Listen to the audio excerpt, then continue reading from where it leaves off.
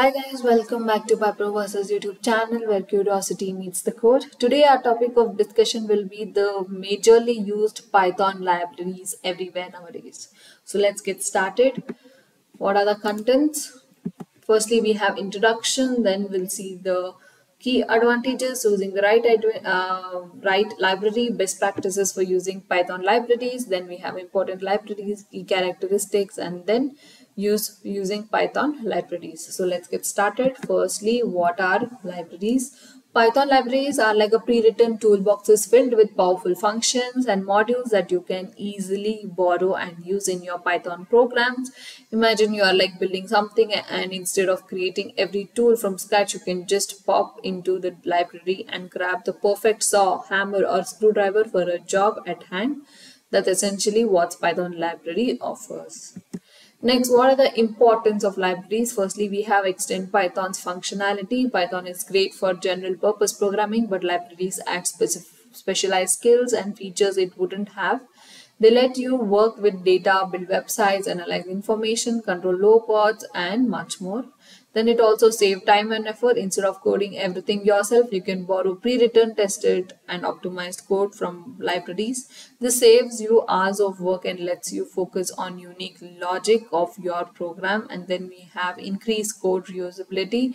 Libraries prompt code reuse, meaning you can use the same function and modules across the different project, reducing the redundancy and making your code cleaner and more maintainable. Next, we have access cutting edge tools. Libraries keep up with the latest advantages in various fields, offering you access to sophisticated tools and techniques without needing to be expert in everything. And then we have boost your productivity with libraries you your disposal and you you can write more complex and powerful programs in less time and effort making you a more efficient and productive Python developer. Next, what is code reusability?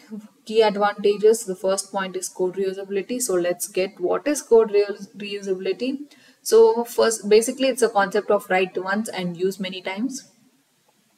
Library encapsulate commonly used code blocks into reusable functions and classes. You can leverage this pre-written code across multiple projects, saving significant development time and effort. Then we have reduced redundancy, avoid reinventing the wheel for tasks like data manipulation, visualization, or web interactions. And then we have libraries provided, tested, and optimized solutions, streamlining your development processes. Next, we have prompt consistent coding practices. Libraries often adhere to best practices and coding conventions, encouraging you to write cleaner and more maintainable and standardized code.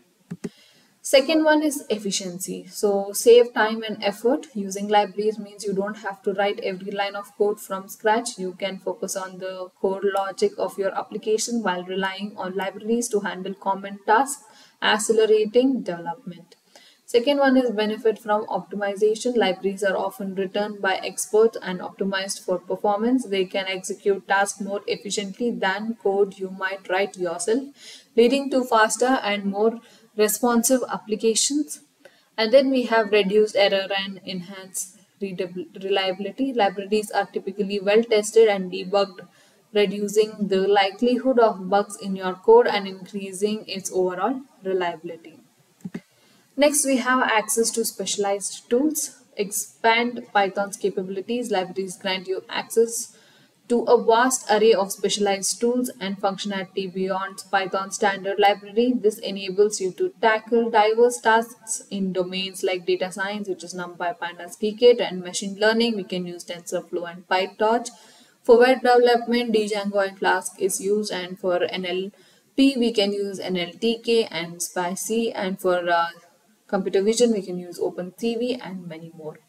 Next, we have stay up to date with innovation. Libraries are continuously evolving, incorporating the latest advancements in their respective fields. By using libraries, you can benefit from cutting edge techniques and tools without having to implement them yourself. Next, we have collaboration and community. This leverages collective expertise. Libraries represent a collective knowledge and efforts of many developers, ensuring a high quality code and wealth of resources.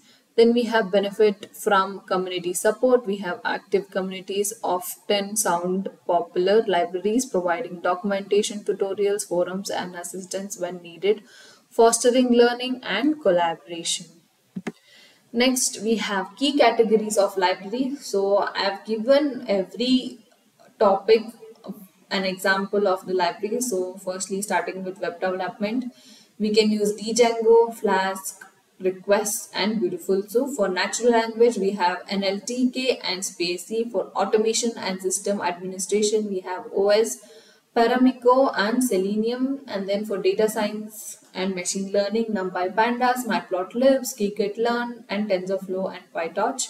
For data analysis and visualization we have seaborn plotly and brocade so if you want to just take a screenshot and keep it with you to know what exactly will we will be using for each other topic. So next we have choosing the right library, which is the most difficult part. So firstly, what are the things to be considered? We have project requirements, identifying your needs. What tasks do you need to need the library to perform such as data analysis or web development or machine learning automation which I have already given in the previous slide so you can take care of those and then we have complexity and scale. Is your project a simple script or a complex application? Consider library scalability and learning curve. And then we have to consider functionality and features. Compare the available libraries research libraries addressing your needs and compare their functionalities, features and limitation. And then we have specificity versus uh, generality. Some libraries focus on specific tasks, example for TensorFlow for deep learning, while others offer broader functionality like NumPy for general purpose uh, numerical com computing. Choose the right one that aligns with your precise needs. And third one we have ease of use documentation, then we have the learning curve. So your experience level and the library's learning curve extensive documentation with tutorials and examples can be helpful for beginners and then we have the API design. Evaluate the library API design for intuitives and clarify our uh, functions and classes named logical and easy to understand. Next, the fourth one, you should consider the community and support. The popularity and adoption. Choose the library with large and active community. This ensures it's easier troubleshooting, access to resources, and continued development. And then we have the documentation uh, quality. Comprehensive and up-to-date documentation is crucial for learning and the using the library effectively. The fifth one you should consider is performance and efficiency. Firstly, benchmarking. If the performance is critical, check benchmarkers and reviews to compare library speed and resource usage. And second, we have memory management and compatibility. Pay attention to memory manage and potential capabilities, issues with Python versions and operating system. Now how using Python libraries, firstly we have to import the library name. So using the import statement such as import library name, import the entire library allowing you to access its function and class using the library name dot function name or library name dot class name without from uh, without the library prefix. Then we have from library name import. This imports all items but use the with caution and it can clutter the namespace. Next we have accessing library function. So in a function cell we call them a regular Python function providing the necessary argument. You can take a look at the example. And then we have a class which creates objects from them to use their methods and attribute. Again there is a example which you can go through. Next we have common tasks with examples so for keeping in mind data analysis with pandas. Here in the example we have a data frame which is created and we are printing the column age mean to calculate the overall age of the entire column of the data set and then we have visualization also can be done with matplotlib so again we are importing matplotlib as plt given x and y and plotting them with x and y axis and the title given as simple line plot. Next we have web scraping with beautiful soup. So you can see we have firstly imported the required beautiful soup libraries then we have given a uh, response response get http.example.com and title for soup.title.text and print the title. Next, what are the best practices for using Python libraries? So firstly, documentation is your friend. Always start by reading the official document. It's your guide to understanding function classes and best practices.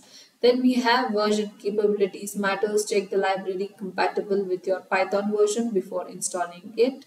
Mismatched version can lead to errors and unexpected behavior.